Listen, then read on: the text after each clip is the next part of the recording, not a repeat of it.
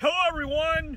Two miles south of the Gettysburg battlefield, just west of Seminary Ridge and the Sachs Covered Bridge right behind me. I'm Wayne Motts, the Chief Executive Officer of the National Civil War Museum, and this is our Thursday snapshot covering one of the most historic structures on the Gettysburg battlefield, and you've got to make an effort to come down and see it across Marsh Creek.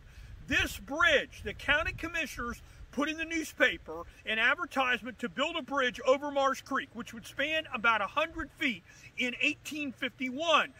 A bid was awarded in 1852 to David Stoner, and he built this bridge in 1852 for $1,544. For 11 years, between 1852 and 1863, this bridge saw peaceful commerce back and forth across Marsh Creek. And then on July 1st, 1863, elements of Thomas Rowley's Union Division went across the bridge up to the Emmitsburg Road and into the town of Gettysburg.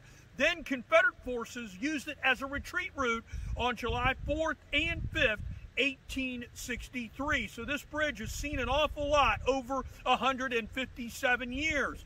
It was on the National Register of Historic Places, placed there in 1980, and in 1996, a large flood took it down Marsh Creek, crushed it, and it was rebuilt for hundreds of thousands of dollars using the original wood and rededicated in 1997. Oh, if that bridge could only talk.